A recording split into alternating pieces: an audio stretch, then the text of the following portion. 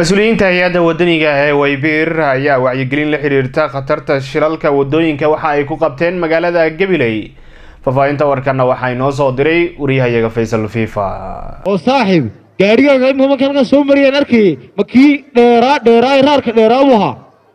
Haa saaxiib si qurux badan maan loo rarin. Oo saaxiib maxaad baalka sida nagu rartay?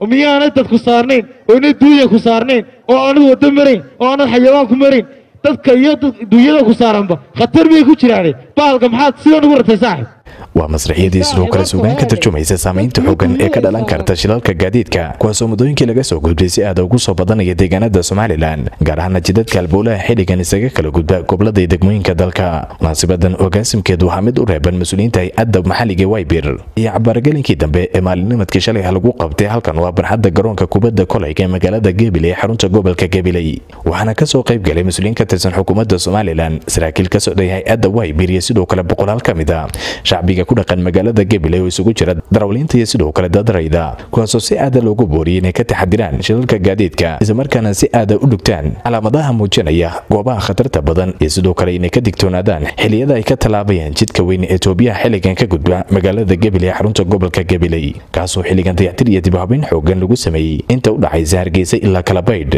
islamarkaana dhammaystirkiisa xilligan gacanta ku hayso xukuumadda somalilan oo kaashanaysa hay'adda fadhigeedu yahay dalka jarmalka jiaisad idna gacan dhaqaale oo dheeriya laga helayo dowladda federaalka dalka jarmalka iyo midowda yurub.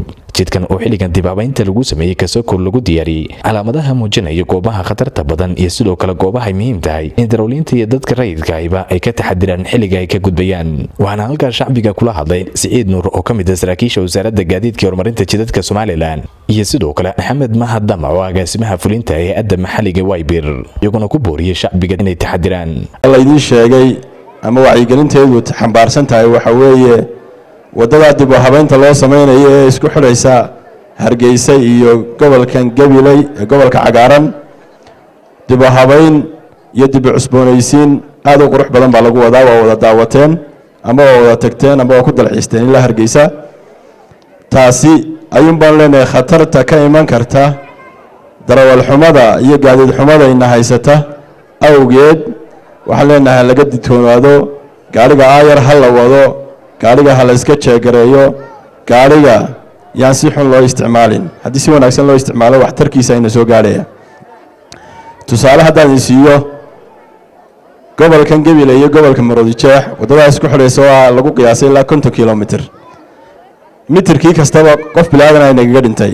Haddaynu dib u xisaabino goob qof baa inagaga dhintay goob qof baa inagaga dhaawacmay aanay waxyeela inoo soo gaalin.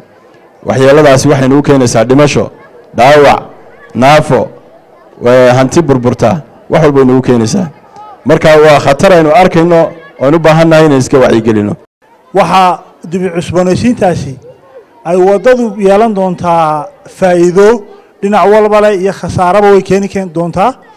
Taasi waxay micnaheedu tahay in aynu maxaa had iyo jeer ka foojignaano ama ka taxadirno dhibaatada ama maxay ahaydey waxyeelada waddada ka soo gaadha ama shilalka baabuurtu waxyaabaha ay sababaan barnaamijku wuxuu xoogga saari doonaa adeegsiga calaamadaha dhimista xawaaraha xidhashada suunka oo aan dadkeennu inta badan ku baraarugsanayn oo had iyo jeer gaadhiga waxa loogu xidhay suunku ay tahay. In qofku oo had iyo jeer suunka xidho wakhtiga uu taraagga ku jiro iyo wakhtiga gaadhiga uu la socdoba gudaha magaalada gudaheedaba. Dhowrkii cishe laga soo gudbay ayaa xilligan si taxana hay'adda waybir uga wada.